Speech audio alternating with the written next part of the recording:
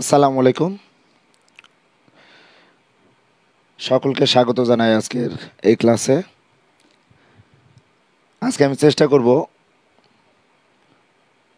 SSC পরীক্ষার্থীদের জন্য সাধারণ গণিতে আমাদের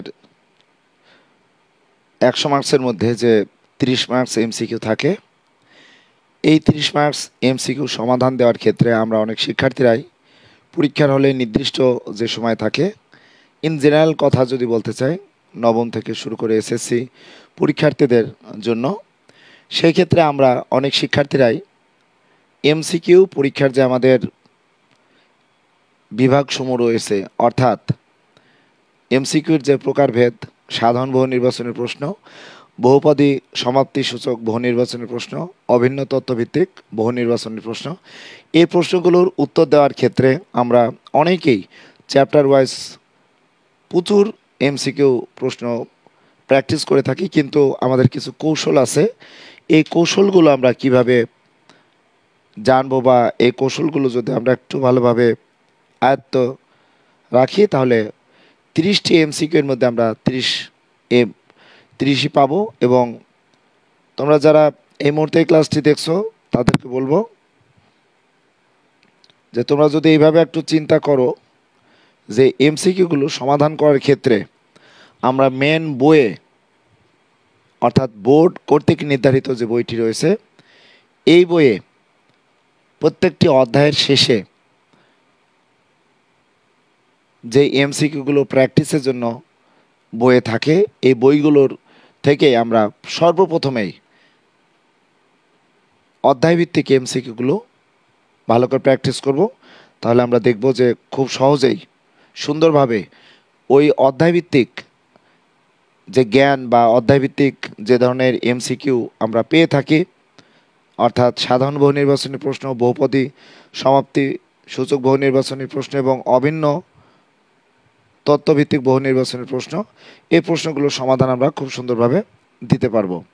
তোমরা অনেকে হয়তো চিন্তা করতে পারো যে বিভিন্ন টেস্ট পেপার বা বিভিন্ন সহায়ক বই থেকে তোমরা এমসিকিউগুলো হয়তো বারবার প্র্যাকটিস করেও হয়তো কমন পাও না বা একটা চ্যাপ্টার থেকে অনেকগুলো এমসিকিউ তোমরা সমাধান করেও তিরিশটি এমসিকিউ তিরিশ মিনিটে সমাধান দেওয়া তোমাদের জন্য অনেক কষ্ট হয়ে যায়।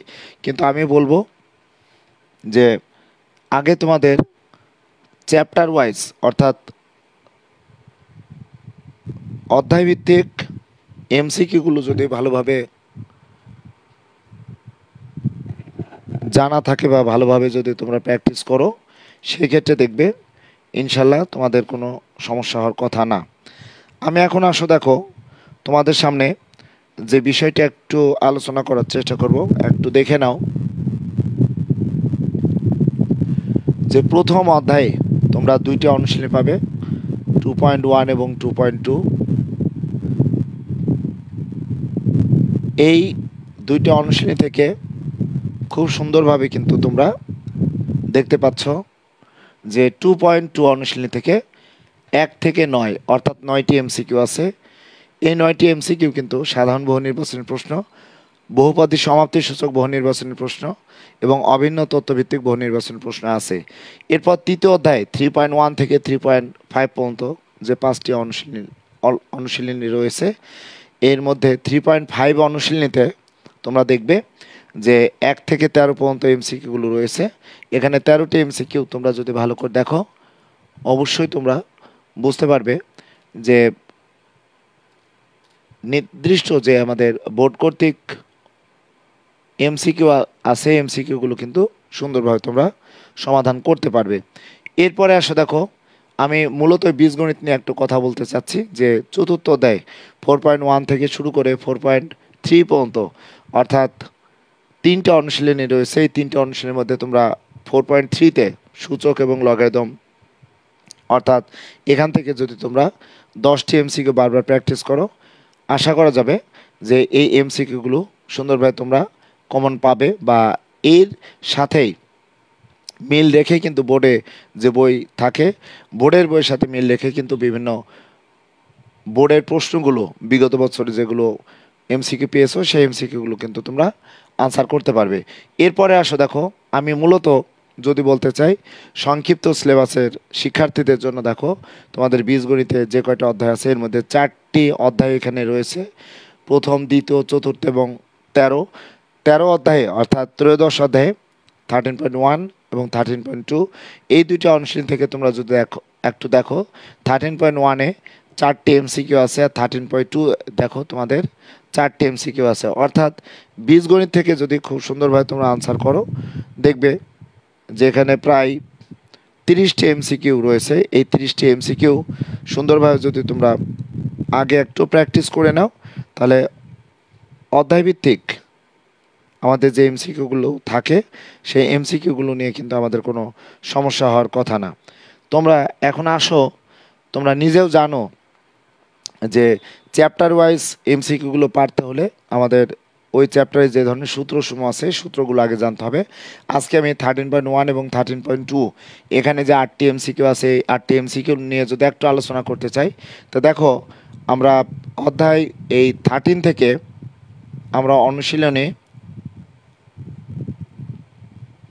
থার্টিন পয়েন্ট ওয়ান এটি পাবো দেখো মূলত সমান্তর ধারা সমান্তর ধারার আমাদের যে একটি সূত্র আছে, যদি আমরা একটা ধারা লিখতে চাই, দেখো a plus a plus d অর্থাৎ এখানে এ বলতে আমরা জানি প্রথম পদ। একটু দেখো এ প্লাস ডি বলতে আমরা দেখতে পাচ্ছি দ্বিতীয় পদ। অর্থাৎ প্রথম পদ আর দ্বিতীয় পদের যে ডিফারেন্স সেটি আমরা পাবো। এ প্লাস টোয়াইস ডি দেখো এটি আমরা তৃতীয় পদ পাচ্ছি। এরপরে দেখো এ প্লাস থ্রি ডি আমরা এটা পাচ্ছি, দেখো, চতুর্থ পদ। এভাবে যদি আমরা এই সমান্তর ধারার যে কোনো তম পদ যদি ফাইন্ড আউট করতে চাই, সেই ক্ষেত্রে আমাদের এনতম পদের যে সূত্র, দেখো a plus n minus one into d এটি আমাদের কিন্তু, দেখো এনতম পদ এনতম আমাদের পদের আমাদের সূত্র। তো তোমাদের কিন্তু একটি বিষয় মনে রাখতে হবে, এই যে থার্টিন পয়েন্ট ওয়ান অনুশীলনী থেকে তোমরা চারটি এমসিকিউ পাবা। এই চারটি এমসিকিউ যদি একটু দেখো, তোমরা অবশ্যই দেখলে বুঝতে পারছ যে মেন বইটি যদি একটু সামনে রাখো, খুব সুন্দরভাবে এখানে আমাদের কিছু ম্যাথ আছে ম্যাথগুলো অর্থাৎ চারটি এমসিকিউ আমরা সমাধান যদি করতে চাই, কীভাবে করতে পারব দেখো। এখানে সর্বপ্রথমে লেখা আছে দেখো যে প্রথমে একটি গাণিতিক প্রবলেম ছিল, এক নম্বর গাণিতিক প্রবলেম থার্টিন প্লাস লক্ষ্য করো twenty plus twenty seven plus thirty four plus dot dot dot dot dot plus দেখো এখানে লেখা আছে ওয়ান হান্ড্রেড ইলেভেন ধারাটির পদ সংখ্যা কত? আমাদের এখানে বলেছে এ একটি ধারা, এই ধারার মোট কয়টি পদ আছে? এই পদটি কিন্তু আমাদের জানতে হবে। অর্থাৎ একটি ধারা দেওয়া আছে। এই ধারাটিতে আমরা মাঝখানে দেখো ডট ডট দিয়ে আছে। কতটি পদ আছে? এই পদটি আমরা কীভাবে ফাইন্ড আউট করব। তাহলে সমান্তর ধারার ক্ষেত্রে আমরা দেখো এনতম পদের সূত্র পাচ্ছি a plus n minus one into d তো সমান্তর ধারার আমরা জানি যে শেষ পদ দেখো, সমান্তর ধারার শেষ পদ আমরা পি ধরে থাকি। আর এই শেষ পদকে কিন্তু আমরা দেখো এনতম পদ বলি সমান্তর ধারার শেষ পদকে দেখো আমরা এনতম পদ বলি। আর এনতম পদের সূত্র নিঃসন্দেহে তোমরা জানো, a plus n minus one into দেখো ডি পাচ্ছি, তাই না? তাহলে এই প্রথম যে একটি ধারা লিখেছি, এই ধারা দেখো, প্রথম পদ জানা আছে, আমার দ্বিতীয় পদ জানা আছে, তৃতীয় পদ, চতুর্থ পদ, এবং এখানে দেখো শেষ পদ আমাদের জানা আছে, পি এর মান যদি বলি, শেষ পদ আর এই শেষ পদকে দেখো আমরা বলতে পারি এন এ প্লাস দেখো এন মাইনাস ওয়ান ইন্টু আমরা ডি বলতে পারব, দেখো এখানে শেষ পদ আর এই ধারাটি অ্যাকচুয়ালি কী ধরনের ধারা? এটা কিন্তু আগে আমাদের বুঝতে হবে। আমি কিন্তু দেখো আজকে ত্রয়োদশ অধ্যায়ের এমসিকিউগুলো যদি একটু সলভ দিতে চাই, সেই ক্ষেত্রে তোমরা খুব ভালোভাবে কিন্তু একটু জেনে যাবে যে সমান্তর ধারার ক্ষেত্রে আমরা যে কোনো পদ এবং তার পূর্ববর্তী পদের যে একটি ডিফারেন্স বা পার্থক্য, এটি কিন্তু সবসময় একই ধরনের মান থাকবে। অর্থাৎ সমানভাবে পার্থক্য থাকবে, সমান্তর, সমানভাবে অন্তর মানে ডিফারেন্স থাকবে। তাহলে এই ধারাটির আমরা যদি এখন প্রথম পদ নির্ণয় করতে চাই, তাহলে দেখো, এই ধারাটির প্রথম পদ বলতে আমরা এখানে থার্টিন পাচ্ছি, দেখো। আর আমাদের বলেছে এই ধারাটির কততম পদ? অ্যাকচুয়ালি এখানে একশো এগারো হবে বা এখানে এই ধারাটির মোট পদ সংখ্যা কত? অর্থাৎ এন এর মান কিন্তু আমাদের ফাইন্ড আউট করতে হবে। তাহলে এ সমান থার্টিন পাচ্ছে, দেখো। এন মাইনাস ওয়ান ইন্টু দেখো ডি এর মান কত? তো ডি বলতে, দেখো, আমরা কি পেতে পারি বলতো দুইটি পদের আমরা কমন ডিফারেন্সটা এক হয় কিনা, দেখো, বিশ মাইনাস দেখো, তেরো সমান আমরা এটা সাত লিখতে পারব। আবার যদি আমি চতুর্থ পদ থেকে তৃতীয় পদ বিয়োগ করতে চাই, তাহলে ডি সমান, দেখো থার্টি ফোর মাইনাস দেখো টোয়েন্টি সেভেন এখানেও কিন্তু আমরা দেখো সেভেন পাচ্ছি। এভাবে আমরা যদি একটু ক্যালকুলেশন করি, তাহলে এই ধারাটির কয়টি পদ আছে এটি নির্ণয় করার ক্ষেত্রে দেখো, যে যে কোনো সমান্তর ধারার শেষ পদকে আমরা পি দ্বারা যদি প্রকাশ করি, আর সেই ধারার আমরা এনতম পদকেই কিন্তু আমরা শেষ পদ বলব, আর এনতম পদ মানে আমরা a plus n minus one into d পাবো। তাহলে ডি এর মান দেখো এখানে দেখতে পাচ্ছি, সাত পাচ্ছি, তাহলে সাতটি আমি ক্রস গুণ দিয়ে রাখলাম। আর এখানে দেখো শেষ পদ কত আছে বলো তো? এখানে শেষ পদ কিন্তু দেওয়া ছিল ধারাটির দেখো ওয়ান হান্ড্রেড অ্যান্ড ইলেভেন দেওয়া আছে। তাহলে এটি যদি আমরা একটু ক্যালকুলেশন করি, কি হতে পারে দেখো? তাহলে আমরা সেভেন দ্বারা মাল্টিপ্লাই আমরা পরে করব। সর্বপ্রথমে কী লিখব দেখো? এন মাইনাস ওয়ান ইন্টু দেখো সেভেন আর ওয়ান হান্ড্রেড ইলেভেন থেকে আমরা থার্টিন আমরা যদি বিয়োগ করি, তাহলে আমরা কত পাবো দেখো? এখানে n minus one into seven আমরা সেভেন আমরা সরাসরি এখন ভাগ করে দেবো। তাহলে এখানে কত হয় দেখো তো? তাহলে আট আর তিন এগারো হবে, তার মানে এইট এখানে দুই দুই আর নয় দেখো এখানে এগারো, আর এখানে দেখো সেভেন আমরা রাখলাম। তাহলে আমরা বিয়োগ করলে নিঃসন্দেহে এটি পাচ্ছি।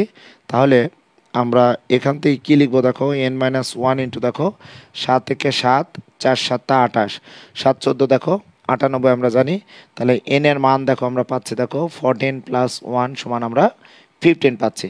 তাহলে তোমাদের মেন বইয়ে যে গাণিতিক প্রবলেমটি রয়েছে, অর্থাৎ থার্টিন পয়েন্ট ওয়ানের প্রথম যে ম্যাথটি রয়েছে এমসিকিউ এর জন্য, দেখো, এই ম্যাথটিকে যদি আমি মূল যে আমাদের সমান্তর ধারার যে রূপ রয়েছে, সমান্তর ধারা যেভাবে লিখি, এটির সাথে যদি কম্পেয়ার করি, এখানে প্রথম পদ সাধারণ অন্তর পাচ্ছি, আর এ একটি ধারা ছিল ধারার কয়টি পদ ছিল বা এখানে শেষ পদ সমান আমরা পি জানি, আমি লিখেছি সমান্তর ধারার শেষ পদকে আমরা পি দ্বারা প্রকাশ করি, আর শেষ পদ সমান আমরা সমান্তর ধারা দেখো এনতম পদ, আর এনতম পদ বলতে দেখো a into n minus one into d সমান আমাদের পি আর পি বলতে দেখো এখানে আমরা পাচ্ছি কত? ওয়ান হান্ড্রেড অ্যান্ড ইলেভেন এখান থেকে ক্যালকুলেশন করে আমরা ধারার প্রথম পদ জানি।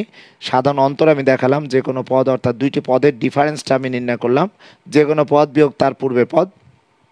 তৃতীয় পদ থেকে আমরা দ্বিতীয় পদ বিয়োগ করলেও কিন্তু আমরা সেভেন পেতাম। দ্বিতীয় পদ থেকে প্রথম পদ বিয়োগ করেও কিন্তু আমরা সেভেন পাচ্ছি। তাহলে আমরা দেখতে পেলাম, এই সূত্র ক্যালকুলেশন করে আমরা এন এর মান কিন্তু দেখো ফিফটিন পেলাম। তোমরা খুব ভালোভাবে যদি একটু এই ক্লাসটি দেখো, নিঃসন্দেহে বুঝতে পারবে এই ধরনের ম্যাথগুলো তোমাদের আগে মেন বই থেকে কিন্তু বারবার প্র্যাকটিস করতে হবে, তাহলে তোমরা দেখো অনেক সুন্দরভাবে কিন্তু আনসার করতে পারবে। এখন আসো, আরেকটি কোশ্চেন আছে, এখানে দুই নম্বর প্রশ্ন, এটি মূলতই আমাদের কী ছিল বলতো? যে এমসিকিউ তিন টাইপের অর্থাৎ তিন ধরনের আমাদের এমসিকিউ থাকে। এর মধ্যে প্রথম ধরনের যে এমসিকিউ সাধারণ বহু নির্বাচন প্রশ্ন। তোমরা যদি তহিদ একাডেমি ইউটিউব চ্যানেলে যাও, আমি সপ্তম, অষ্টম, ষষ্ঠ বা নবম, দশম শ্রেণির শিক্ষার্থীদের জন্যও কিন্তু আমাদের যে এমসিকিউ এর ক্লাসিফিকেশন থাকে, প্রথম এমসিকিউ আমরা জানি সাধারণ বহু নির্বাচনের প্রশ্ন। সাধারণ বহু নির্বাচনের প্রশ্ন দেখো। সাধারণ বহু নির্বাচনের প্রশ্ন, অর্থাৎ সলিডভাবে আমাদের একটি প্রশ্ন দেওয়া থাকবে। এই প্রশ্ন চারটে অপশন দেওয়া থাকবে। এই অপশনগুলো কিন্তু খুব দ্রুত আমরা কিন্তু আনসার করতে পারব। এই ধরনের আমাদের একটি প্রশ্ন থাকবে এবং এই টাইপের প্রশ্নগুলোই কিন্তু আমরা ত্রিশটি যদি এমসিকিউ হয়, নবম শ্রেণির শিক্ষার্থীদের জন্য আমি যদি কথাটাই বলি, তাহলে ত্রিশটি এমসিকিউর মধ্যে মিনিমাম তোমরা আঠারো থেকে বিশটি এমসিকিউ এই ধরনের পাবে বা সতেরো থেকে বিশটি এমসিকিউ সাধারণ বহু নির্বাচনের প্রশ্ন তোমরা পেয়ে থাকবে। এরপরে আসো দেখো, দ্বিতীয় নিয়ম হচ্ছে বহুপদী সমাপ্তি সূচক, বহু নির্বাচনের প্রশ্ন। বহুপদী সমাপ্তি সূচক সমাপ্তি সূচক, বহু নির্বাচনের প্রশ্ন। অর্থাৎ এই ক্ষেত্রে আমাদের একটি অসমাপ্ত বাক্য আকারে আমাদের একটি প্রশ্ন থাকবে। এখান থেকে তিনটা আমাদের রোমান সংখ্যার প্রশ্ন দিয়ে তোমাদের বলবে যে নিচের কোনটি সত্য। যেমন তোমরা যদি একটু দেখো, এখানে লেখা আছে, খুব ভালোভাবে যদি একটু দেখো, যে five comma eight comma eleven comma fourteen sorry five plus eight plus eleven plus fourteen plus dot dot dot plus sixty two ধারাটি একটি সসীম ধারা, একটি গুণোত্তর ধারা। এর উনিশতম পদ দেখো, এখানে আমরা ফিফটি নাইন পাচ্ছি। তাহলে এই ধরনের ম্যাথগুলো, এই ধরনের প্রশ্ন তোমরা কয়টি পাবে? এখানে আমি বলেছি এক থেকে প্রায় বিশ পর্যন্ত তোমরা এমসিকিউ পাবে। আর এই ধরনের এমসিকিউ মিনিমাম চার থেকে তোমরা ছয়টি বা চার থেকে সাতটি এমসিকিউ পেতে পারো। লক্ষ্য করো। অর্থাৎ বহুপদী সমাপ্তি সূচক বহু নির্বাচনী প্রশ্নগুলো আনসার করার ক্ষেত্রে মনে রাখবে, একটু সময় লাগবে। যেমন এখানে তোমাদের দুই নম্বর যে প্রশ্নটি রয়েছে, এই দুই নম্বর প্রশ্নটি যদি আমি সমাধান একটু দিতে চাই, তাহলে দেখো কি হতে পারে। তোমরা যারা এই মুহূর্তে ক্লাসটি দেখছ, তাদের অনুরোধ করব, তোমরা এই ক্লাসটি যদি তোমাদের বন্ধুদের মাঝে শেয়ার করে দাও, তাহলে তোমাদের অনেক বন্ধুরা এই ক্লাসটি দেখার সুযোগ পাবে। প্রথমে বলেছে, দেখো, আমাদের ধারাটি আছে, দেখো five plus eight plus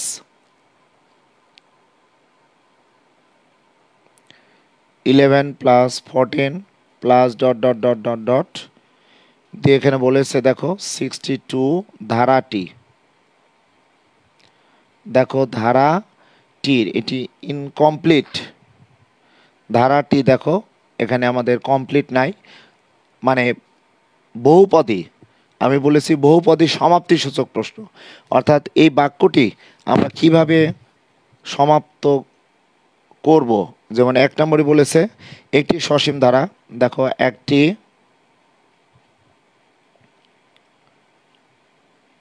সসীম ধারা দেখো।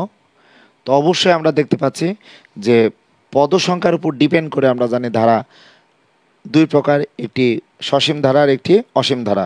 তো এখানে দেখতে পাচ্ছি প্রশ্নে এই ধারাটির প্রথম পদ কিন্তু দেয়া আছে কত বলতো ফাইভ দেয়া আছে এবং শেষের পদ কিন্তু সিক্সটি টু দেওয়া আছে। অর্থাৎ আমরা যদি এই ধারাটি প্রত্যেকটি পদ ফাইন্ড আউট করি, তাহলে কয়টি পদ আছে আমরা ফাইন্ড আউট করতে পারব? তাহলে আমরা এই ধারাটিকে কিন্তু বলতে পারব, দেখো, সসীম ধারা। তাহলে এইটির আনসার কিন্তু আমরা পেয়ে যাচ্ছি। এরপরে দুই নম্বর প্রশ্নে আছে একটি গুণোত্তর ধারা, দেখো এটি গুণোত্তর ধারা।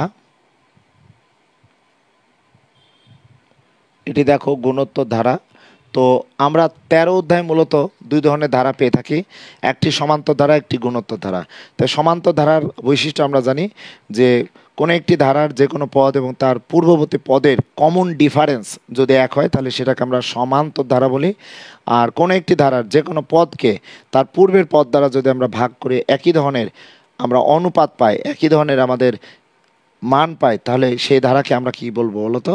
গুণোত্তর ধারা। তাহলে গুণোত্তর ধারার আমরা যে ফর্ম পাই, দেখো a plus a r a r square plus দেখো dot dot dot dot n তো পদ জানি এ আর টু দা দেখো এন মাইনাস ওয়ান তাহলে এই ধারার দেখো প্রথম পদ আমরা কত জানি? দেখো প্রথম পদ সমান এ জানি। সাধারণ অনুপাত আমরা কিউ দ্বারা ইউজ করতে পারি। প্রকাশ করতে পারি, সাধারণ অনুপাত, অনুপাতের ইংরেজি আমরা জানি রেশিও দেখো, সাধারণ অনুপাত আমরা আর দ্বারা প্রকাশ করতে পারি বা এটাকে তোমরা, তোমাদের মেন বই দেখবে কিউ দ্বারা প্রকাশ করা হয়েছে। অর্থাৎ যে কোনো পদ, যে কোনো পদ ভাগ তার পূর্বের পদ। দেখো, তার পূর্ববর্তী পদ আমরা এটা ফাইন্ড আউট করব। করে যদি একই ধরনের মান আসে, যেমন এখানে যে কোনো পদ বলতে আমরা এ আর পাচ্ছি, তার পূর্বে পদ দেখো এ এটি ক্যালকুলেশন করলে কত পাবো বলো তো? আর পাবো। আবার দ্বিতীয় পদ বলতে যে, তৃতীয় পদ বলতে এ আর স্কোয়ার তার পূর্বের পূর্ববর্তী পদ দেখো এ আর পাচ্ছি। এটি ক্যালকুলেশন করলেও দেখো আমরা কী পাবো বলো? আর পাবো। তাহলে আমরা এই ধারার ক্ষেত্রে এমন রূপ পাওয়া যায় কি না প্রথম পদ এখানে দেখো ফাইভ আছে। তাহলে আমরা যদি এটি আর লিখতে চাই, যে কোনো পদ বলতে কত বলো তো? এইট তার পূর্বে পদ কত বলো তো? ফাইভ আছে। এটি ক্যালকুলেশন করলে কি এক হবে আমি কি জানি না। আবার দেখো ইলেভেন বাই এইট এটির কি একই ধরনের রেশিও তো হওয়ার কথা না? কারণ আমরা এটি লঘিষ্ঠ করলে আমাদের অনুপাত তো একই ধরনের অনুপাত হবে না। তাহলে আমরা প্রথমে বলব যে এই ধারাটি কিন্তু গুণোত্তর ধারা না, এই ধারাটি হতে পারে সমান্তর ধারা। তো সমান্তর ধারার ক্ষেত্রে আমরা ডিফারেন্সটা কি পেতে পারি? যে কোনো পদ বিয়োগ তার পূর্বে পদ, অর্থাৎ দ্বিতীয় পদ আছে এইট আর প্রথম পদ দেখো কত আছে ফাইভ এরপরে দেখো, আমরা যদি একটু দেখি, তৃতীয় পদ এখানে আছে দেখো এইট তার পূর্বে সরি ইলেভেন তার পূর্বের পদ কত আছে বলো তো? এইট আছে। তাহলে কমন ডিফারেন্স প্রত্যেক ক্ষেত্রেই কিন্তু আমরা দেখতে পাচ্ছি, কত বলো তো? তিন। অর্থাৎ কমন ডিফারেন্স কিন্তু একই রয়েছে। সেই ক্ষেত্রে আমরা দুই নম্বর প্রশ্নের ক্ষেত্রে এই গুণোত্তর দ্বারা আমরা এটি বলতে পারব না। আমরা অবশ্যই দেখলে বুঝতে পারছি যে কোনো একটি প্রশ্ন, আমাদের যে বহুপদী সমাপ্তি সূচক প্রশ্ন থাকে সেই ক্ষেত্রে অ্যাকচুয়ালি সঠিকভাবে আনসার করার ক্ষেত্রে আমাদের তো একটু সময় লাগেই এবং সময়টা তো অবশ্যই লাগবে। এখন আসো যে বিষয়ে এখানে বলা হয়েছে, যে তিন নম্বর যে অপশনটি ছিল, বলা হয়েছে এর উনিশতম পদ উনষাট বলেছে তিন নম্বর, এর উনিশতম পদ দেখো ফিফটি নাইন তাহলে উনিশতম পদ আমরা কীভাবে নির্ণয় করব? আমরা যদি একটু দেখি, যেহেতু একটি একটি সমান্তর ধারা, তাহলে আমরা এনতম পদের সূত্র অবশ্যই জানি। এনতম পদের সূত্র আমরা জানি, দেখো সমান্তর ধারার a plus n minus one into দেখো, এখানে ডি পাচ্ছি, তাই না? তাহলে আমাদের বলেছে উনিশতম পদ। তো নাইনটিনতম পদ যদি বলি, তাহলে এন এর স্থলে দেখো কত হয় বলো তো? নাইনটিন বসাবো। আর আমাদের এই ধারার দেখতে পেলাম, প্রথম পদ তো আমাদের এখানে ফাইভ আছে। আর এন এর মান দেখো নাইনটিন মাইনাস ওয়ান এখানে যদি একটু দেখি। আর কমন ডিফারেন্স কিন্তু আমরা দেখতে পেলাম এখানে থ্রি তাহলে আমরা কত লিখতে পারি? ফাইভ প্লাস দেখো আঠারো, তিন আঠারো দেখো চুয়ান্ন, কত পাই? দেখো তিন আঠারো চুয়ান্ন যোগ পাঁচ, সমান আমরা কিন্তু দেখো এখানে তিন আঠারো চুয়ান্ন যোগ পাঁচ, আমরা পেয়ে যাচ্ছি দেখো উনষাট তাহলে নিঃসন্দেহে এই গাণিতিক সমস্যাটির সমাধান কিন্তু আমরা যেটি পাবো দেখো, এক এবং তিন পাবো। এখন বহুপদী সমাপ্তি সূচক বহু নির্বাচনী প্রশ্নের ক্ষেত্রে আমাদের যেই বিষয়টি মনে রাখতে হবে, আমরা প্রথমে দেখো এক এবং এক সঠিক আছে, দুই কিন্তু ভুল আছে। তাহলে এই রোমান সংখ্যা দুই আমাদের অপশন ক ক্ষয় যেভাবে থাকবে। যেমন ক অপশনে আছে কি দেখো তো? ক অপশন আছে এক ও কত বলো তো? দুই আছে। প্রথম কথা হচ্ছে এক আর দুই আছে, প্রথম অপশনে তাহলে আমাদের যেহেতু দুই ভুল, তাহলে তো ক এখানে নেওয়া যাবে না। ক্ষয় কি আছে দেখো? খ অপশনে আছে এক ও তিন। লক্ষ্য করো, এক ও তিন আছে, তাহলে আমরা এক তো পেয়েছি, এইমাত্র কিন্তু তিন পেলাম। এটি রাইট হবে। আবার দেখো, গণং অপশনে কি আছে বলো তো দুই ও তিন। গয়ে দেখো এখানে কি আছে বলো তো দুই ও এখানে তিন আছে। তো আমরা দেখতে পাচ্ছি এখানে সর্বপ্রথমে দুই তো আমরা ভুল আছে, দেখতে পেলাম। তাহলে আমাদের গ হবে না। আর ঘয়ে দেখো অপশন কি আছে বলো তো তিনটি আছে, অর্থাৎ এক আছে, দুই আছে, এবং কি আছে বলো তো তিন আছে। যেহেতু আমাদের অপশনে দ্বিতীয় রোমান সংখ্যার অপশনটি কিন্তু এখানে ভুল আছে, তাহলে তো অবশ্যই আমরা ঘও নিতে পারব না। আমরা সুন্দরভাবে কিন্তু আগেই কিছু কৌশল অবলম্বন করতে পারব বা ওভার কনফিডেন্স আমরা তৈরি করতে পারব। এই প্রশ্নটির ক্ষেত্রে আমাদের যে বহুপদী সমাপ্তি সূচক বহু নির্বাচনের প্রশ্ন, অর্থাৎ চার থেকে সাতটি প্রশ্ন থাকতে পারে। এই ক্ষেত্রে দেখো, একটি প্রশ্নেরই কিন্তু তিনটি অপশন দেওয়া থাকবে এবং এই তিনটি অপশন কিন্তু আমাদের সুন্দরভাবে কিন্তু ক্যালকুলেশন করতে হবে। অর্থাৎ উত্তর এখানে তিনটি থাকবে। কিছু উত্তর দেখো, ভুল আছে, আবার কিছু উত্তর কিন্তু দেখা, এখানে সঠিক আছে। তাহলে এই টাইপের ম্যাথগুলো যদি সুন্দরভাবে আমরা ক্যালকুলেশন করি, দেখো সুন্দরভাবে আনসার করতে পারব। তাহলে আমরা এই যে এমসিকিউ এর ক্লাসিফিকেশন সাধারণ বহু নির্বাচনের প্রশ্ন আমরা পাবো প্রায় বিশটি। বহুপতি সমাপ্তি সূচক বহু নির্বাচনের প্রশ্ন আমরা পাবো প্রায় চার থেকে সাতটি প্রশ্ন। অর্থাৎ জেনারেল ম্যাথে আমরা জানি চারটি বিভাগ আছে। ক বিভাগে বীজগণিত, খ বিভাগে তোমরা পাবে যে জ্যামিতি, গ বিভাগ পাবে ত্রিকোণমিতি, পরিমিতি আর ঘ বিভাগ পাবে পরিসংখ্যান। তা আমরা যদি এই বহুপদী সমাপ্তি সূচক প্রশ্নগুলো দেখি, আমরা চারটি বিভাগে, মিনিমাম তো চারটি আমরা প্রশ্ন পাবো। তাহলে চারটি প্রশ্নের জন্য আমাদের সময় বরাদ্দ করে আমাদের রাখতে হবে। তাহলে কিন্তু দেখো আমরা খুব সুন্দরভাবে ক্যালকুলেশন করতে পারব। এখন আসো, আরেকটি প্রশ্ন দেওয়া আছে যেটি যদি বলতে চাই, অভিন্ন তত্ত্ব ভিত্তিক বহু নির্বাচনের প্রশ্ন। এটিও আমাদের সাধারণ বহু নির্বাচনের প্রশ্নের মতোই অভিন্ন তথ্য ভিত্তিক লক্ষ্য করো, এটি আমরা পাচ্ছি, দেখো। অভিন্ন।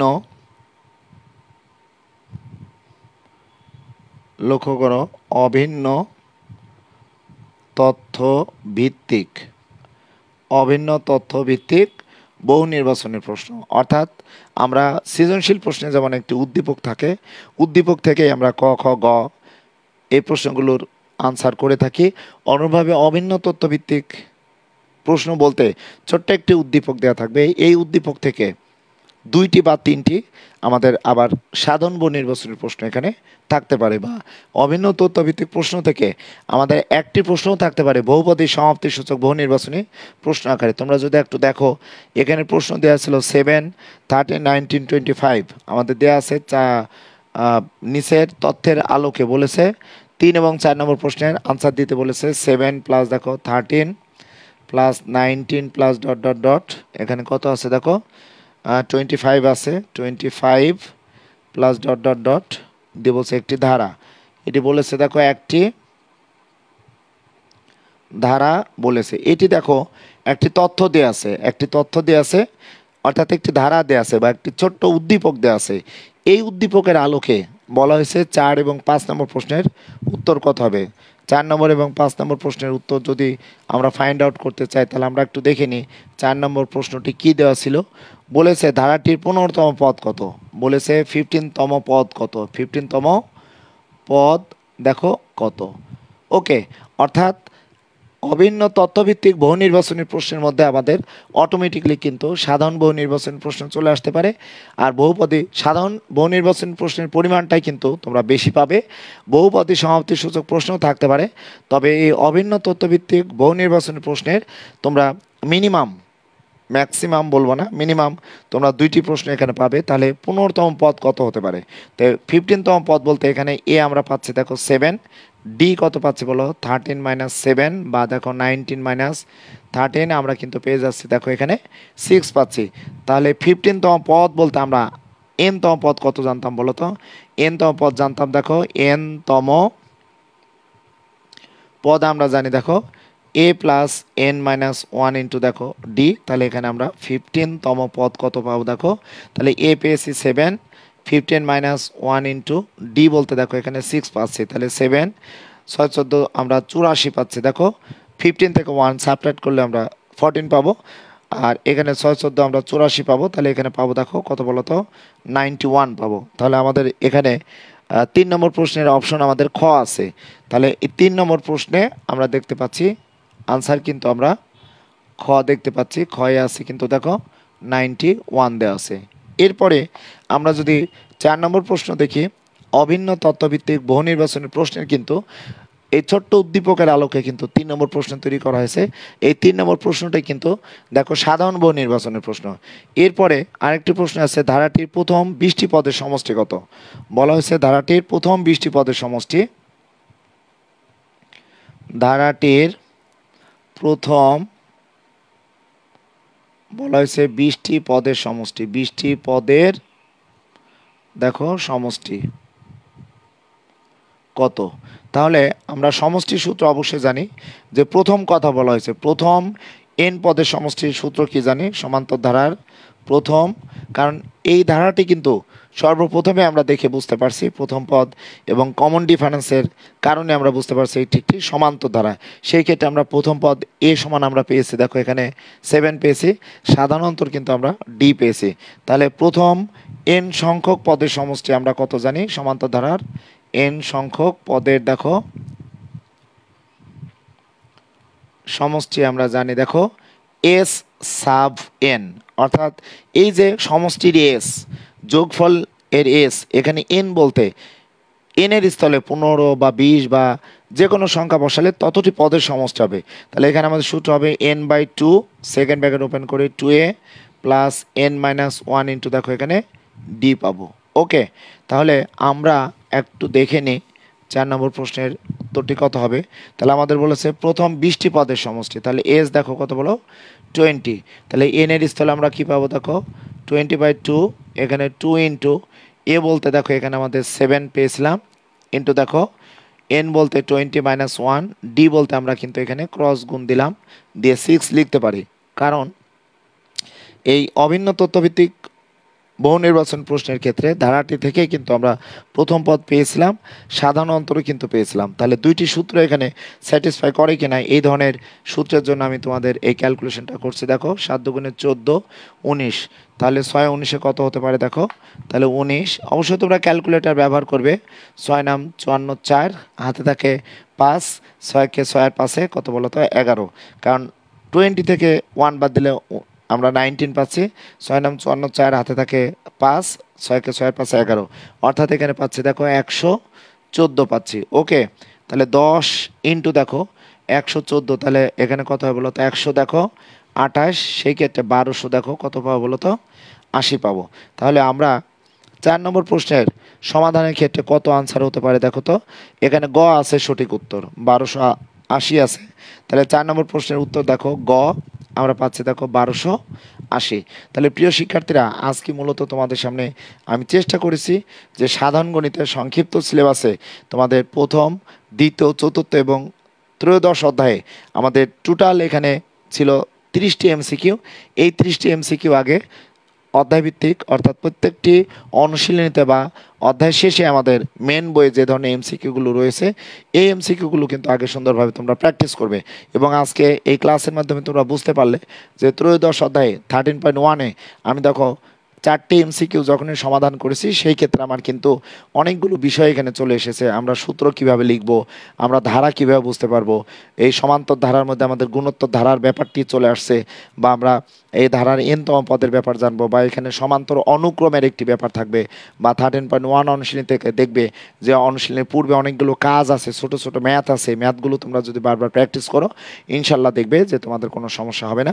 আজকে আমি মূলত চেষ্টা করলাম ধারার যে থার্টিন পয়েন্ট ওয়ান অনুশীলনের সমান্তর ধারা থেকে আমাদের এমসিকিউ তিন ধরনের সাধারণ বহু নির্বাচনে আমাদের প্রশ্ন যেগুলো আছে বা বহুপদী সমাপ্তি সূচক বহু নির্বাচনের প্রশ্ন এবং অভিন্ন তথ্যভিত্তিক বহু নির্বাচনের প্রশ্ন, এই প্রশ্নগুলো আমাদের মাথার ভিতরে রাখতে হবে যে এই তিন টাইপের প্রশ্ন থাকবে এবং সাধারণ বহু নির্বাচনের প্রশ্নগুলো প্রায় ত্রিশটির মধ্যে এক থেকে বিশটি থাকবে। আর অভিন্ন তথ্যভিত্তিক প্রশ্ন আমরা যদি ক, খ, গ চারটি বিভাগ থেকে বিবেচনা করি, তাহলে মিনিমাম চার থেকে দেখো আট পর্যন্ত আমাদের এই অভিন্ন তথ্যভিত্তিক বহু নির্বাচন প্রশ্ন থাকতে পারে।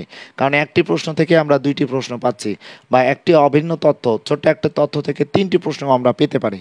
সো প্রিয় শিক্ষার্থীরা আমি সাধারণ গণিতের আজকে এমসিকিউগুলো নিয়ে একটু আলোচনা করলাম। বিশেষ করে বীজগণিতে তোমরা অনেক প্র্যাকটিস করেছ। আর এই ক্লাসটিতে নবম শ্রেণির শিক্ষার্থীরা যদি সংযুক্ত থাকো আর্টস কমার্স বা সায়েন্সের শিক্ষার্থীদের বলব, তোমরা এমসিকিউগুলো প্র্যাকটিস করার জন্য আগে মেন বইয়ের এমসিকিউ সমাধান করবে এবং বিগত বছরের দু হাজার পনেরো সাল থেকে শুরু করে দু হাজার বিশ সাল পর্যন্ত বিভিন্ন বোর্ডের এমসিকিউগুলো অধ্যায়ভিত্তিক এমসিকিউগুলো আগে প্র্যাকটিস করবে। এরপরে বিভিন্ন সহায়ক বই বা তোমাদের স্ব শিক্ষা প্রতিষ্ঠানের শিক্ষক মণ্ডলী যেভাবে তোমাদের নির্দেশনা দিবে, যেভাবে তোমাদের প্র্যাকটিস করতে বলবে, সেভাবে তোমরা বারবার প্র্যাকটিস করবে। আমার অভিজ্ঞতার আলোকে বলব, তোমাদের এমসিকিউ নিয়ে কোনো ভয় থাকবে না। তিরিশটি এমসিকিউর মধ্যে মিনিমাম তোমরা অনেক সময় আঠাশ, উনত্রিশ, সাতাশটি এমসিকিউ আনসার করতে পারো। তিরিশের মধ্যে তিরিশ পাবে আমার এই দৃঢ় বিশ্বাস। যদি তোমরা মেন বইটিকে আগে ভালোভাবে আয়ত্তকরণ করে নাও এবং মেন বইয়ের এমসিকিউগুলো বারবার প্র্যাকটিস করো এবং বিগত বছরের বোর্ডের যে প্রশ্ন থাকবে, এই প্রশ্নগুলো যদি তোমরা সুন্দরভাবে সমাধান করো। সো পরবর্তীতে এইভাবে আমি ধারাবাহিকভাবে তোমাদের এমসিকিউগুলোর সলভ দেওয়ার চেষ্টা করব। তোমরা ভালো থাকবে, ভালোভাবে পড়াশোনা করবে। দেখা হবে পরের কোনো লাইভ সেশনে সেই প্রত্যাশায় আল্লাহ হাফেজ।